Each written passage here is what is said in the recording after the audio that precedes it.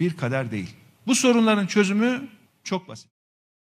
Demokrasi ve Atılım Partisi Genel Başkanı Ali Babacan, Adana'da partisinin birinci olan Seyhan İlçe Kongresi'nde konuştu. Özel sektör öncülüğüne ve verimliliğe dayanan bir ekonomik Meclis Başkanı'nın açıklamalarını eleştiren Babacan, konuşmasında partisinin tarım politikalarını anlattı. Destekler ne zaman ne kadar verilecek belli olmuyor arkadaşlar. O zaten küçücük bir bütçe var ama o bahsettiğim faize 179, tarıma 23 milyar dedim ya. Onun da ne zaman ne miktarda geleceği belli değil. Hep bir yıl geriden geliyor. Çiftçimiz ekiyor, biçiyor, ürünü satıyor ondan sonra arkadan destek geliyor. Siz desteğin ne kadar olacağını, ne zaman verileceğini baştan söyleyeceksiniz ki ona göre kararını versin. Ona göre ekip bitsin. Bir yandan bakıyorsunuz hasat döneminde ve öncesinde tarımsal ürün ithalatı yapılı veriyor. Baştan bunların planlanması lazım. Bu ülkenin kendi ihtiyacı ne? Bu ülkenin üretim kapasitesi ne? Bu ülkeye hangi üründen ne kadar açığı kapatmak için ithalat yapmanız lazım? Ne kadar fazlanız olacak? Ne kadar ihracat yapmanız lazım? Bunun önceden böyle 3 yıllık, 5 yıllık hatta 10 yıllık planlarla belirlenmesi lazım. Hiçbir plan yok. Hiçbir hesap kitap yok. Bir yandan da bakıyoruz çiftçinin üretim maliyeti arkadaşlar. Çiftçinin üretim maliyeti. Çiftçimizin üretim maliyeti artıyor. Ama enflasyonla mücadele edeceğiz diye ne yapıyorlar? Çiftçimizin satış fiyatını, ürün fiyatlarını da baskı altında tutmaya çalışıyorlar. E çiftçimiz zarar ediyor. Döviz kuru arttıkça çiftçinin masrafı artıyor. Mazot fiyatı artıyor, gübre fiyatı artıyor, suyun, elektriğin fiyatı artıyor. Çiftçinin borcu artıyor. Traktör hacizleri yaygınlaşıyor. O ortadan yok olan bakan ne diyordu akraba bakan?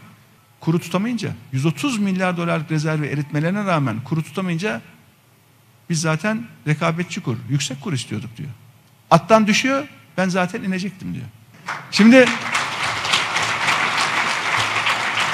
baktı o da olmuyor. En son tam gideceği zaman ne dedi? Ben artık kura bakmıyorum dedi. Ya sen bakmıyorsun da bu ülkenin çiftçisi bakıyor, esnafı bakıyor. Böyle bir şey yok. Kura bakmam ne demek?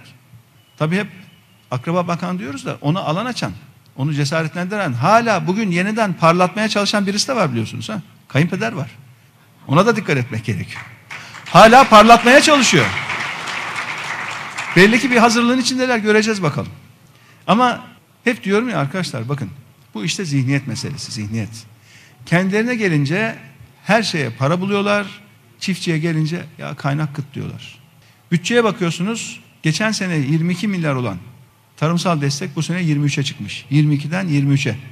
Yüzde işte 5-6 neyse artış o.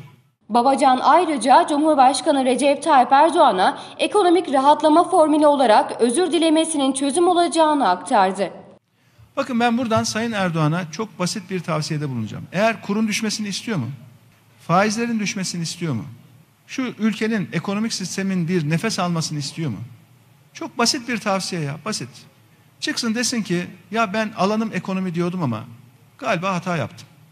Yanlış yaptım. Yanlış bir tezi bu ülkeye dayattım. Bu yüzden de ülke zarar etti. Hatamı anladım. Ama artık bu hatamdan vazgeçiyorum, dönüyorum. Artık Merkez Bankası'na erişmeyeceğim. TÜİK'in yakasından düşeceğim. Yargıya artık karışmayacağım. İnanın 2-3 dakikalık bir basın toplantısı yapsın. Hatasını kabul etsin. O arkaya yazmışlar ya güven ve istikrar. Onun yerine bir şey daha öneriyorum. Özür diliyoruz.